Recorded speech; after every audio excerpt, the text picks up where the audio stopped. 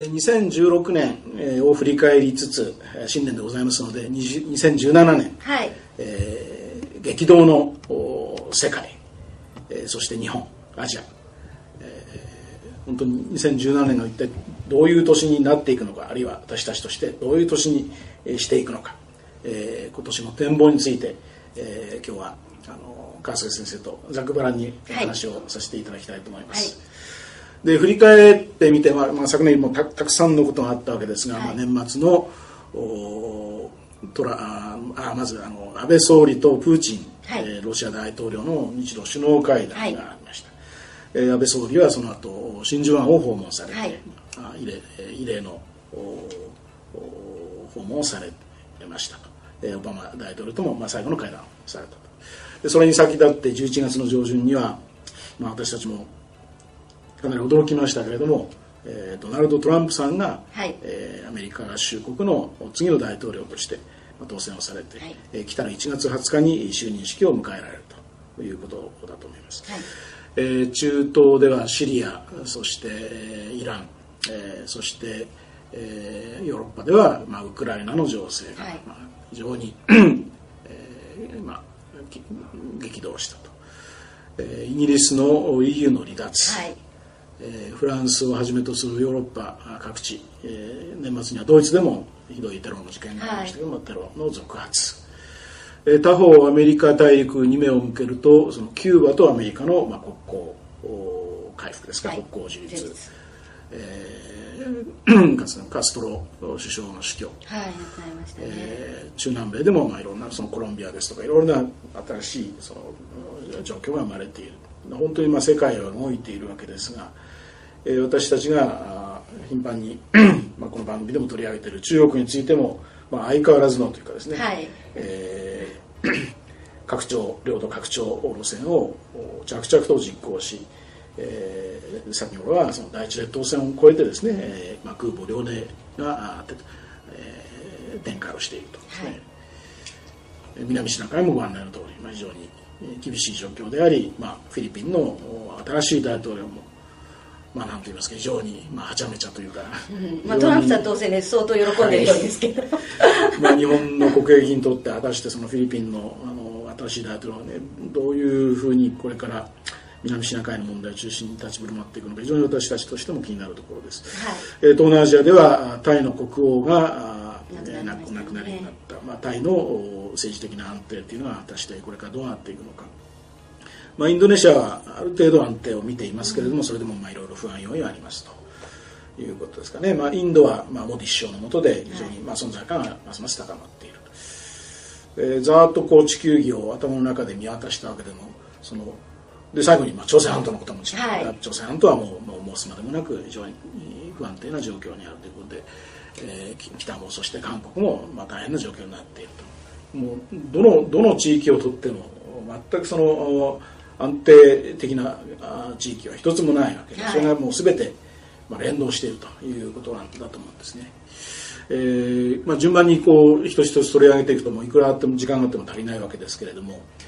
えー、どういたしましょうか。まずは日露首脳会談を含めてそのロシア、はい、そして、まあ、もちろんその中国、はい、日本、えー、この辺を中心に、はい、まあ、川先生の目からご覧になってですね先の、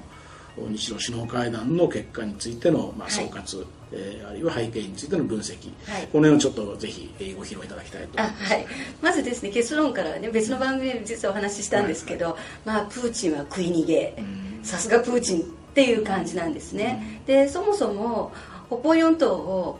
が議題の上ることもないというぐらいロシア側からすれば自分たちの領土であってそれこそねそこに何の問題もないっていうのがもう私は前提だというふうに残念ながらですけれども戦利品だからもう返す必要ないっていうことですよね、はい、彼らの論理でもってそう思ってる、しかもですねやはりその安全保障上の問題から言っても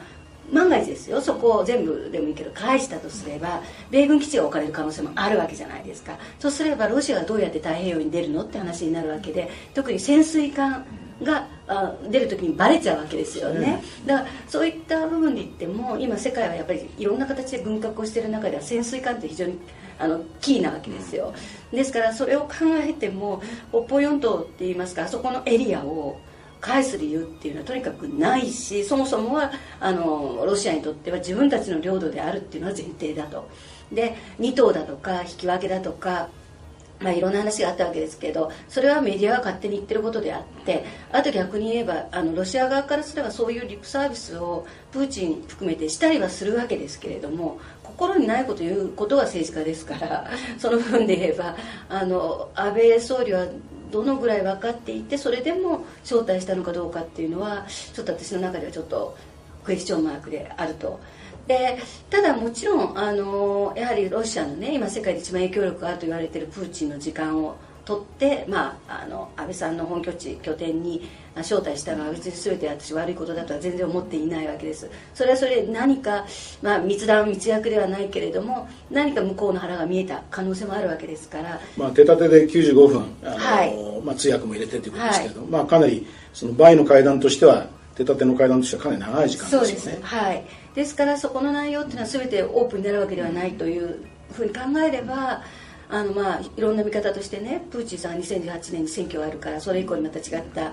話に流れにもなるとか、そういう、まあ、あの希望的観測的な予測もあるしあの、まあ、いずれにしてもまだメディアには言えない内容っていう話し合った可能性はあると。ただ国防上っていう意味で言えば私からすればまずあのありえないと思っているのとあともう一つやはり気になるのはねあのプーチンと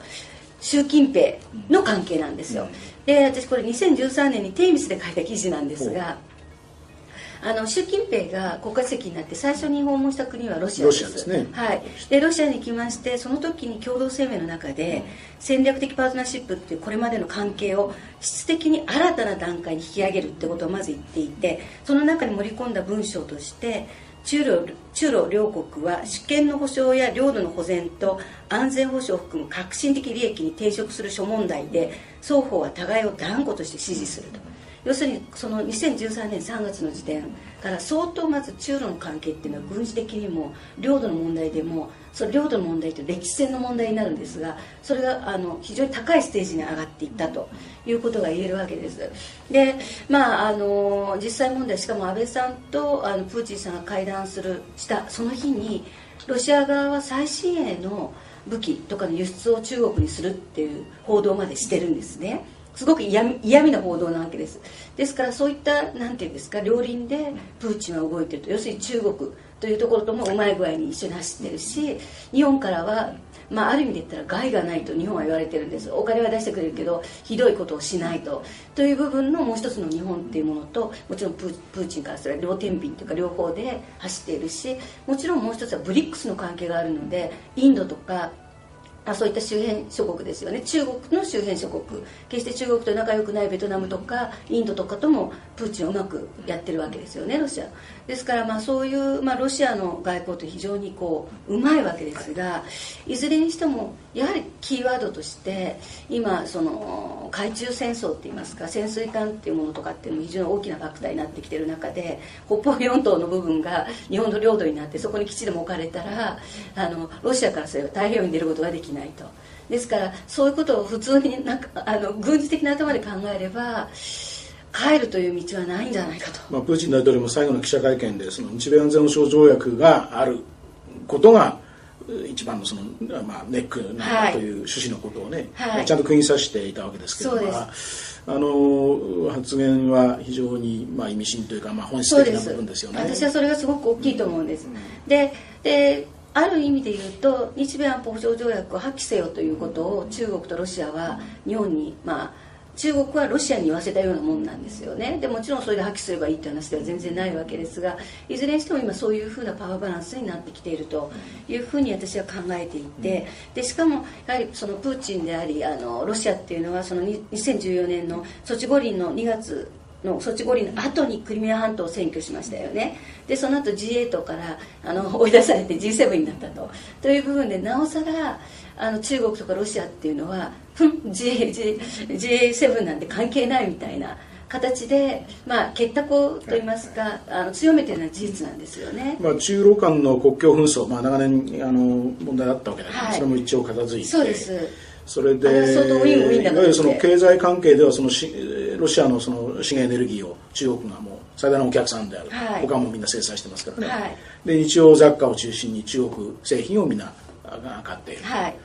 だからその相互依存性あるいは補完性においてそのかつてないほど非常にその経済的にも、まあ、いい関係になってる。で,、領土紛争はまあ一応片付いたとなるとその二大大陸国家としてお互いそのなんですかそのロシア人は中国人のこと嫌いだし その国民性も全く違うしむしろ加藤先生もおっしゃってるようにロシア人というのはむしろ日本人の方が本当は好き好きなんだけども、はい、それはそれとしてまさに戦略的な利害関係という意味ではね。それ大陸国家同士であるその常にその連携をしていくとでその共同してそのアメリカに対抗して。い。くというのは大いに十分そういう一番その当然ロシアだとそういうこと考えますよね。そうです、うん、今そういう状況だというふうに私は思ってます。はい、えー、じゃあまず一旦ここであの、はい、切ってまた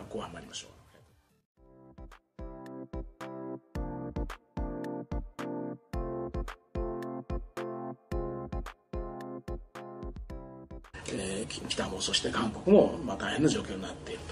と。もうどのどの地域をとっても全くその安定的な地域は一つもないわけで、はい、それがもう全て、まあ、連動しているということなんだと思うんですね。えーまあ、順番にこう一つ一つ取り上げていくともいくらあっても時間があっても足りないわけですけれども、えー、どういたしましょうか。まずは日露首脳会談を含めてそのロシア、はい、そして、まあ、もちろんその中国、はい、日本、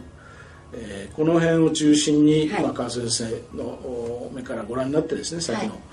日露首脳会談の結果についての、まあ、総括、はい、えー、あるいは背景についての分析、はい、この辺をちょっとぜひご披露いただきたいとはい、まずですね結論からね別の番組で実はお話ししたんですけど、はい、まあ、プーチンは食い逃げ。さすがプーチンっていう感じなんですね、でそもそも北方四島をが議題の上ることもないというぐらい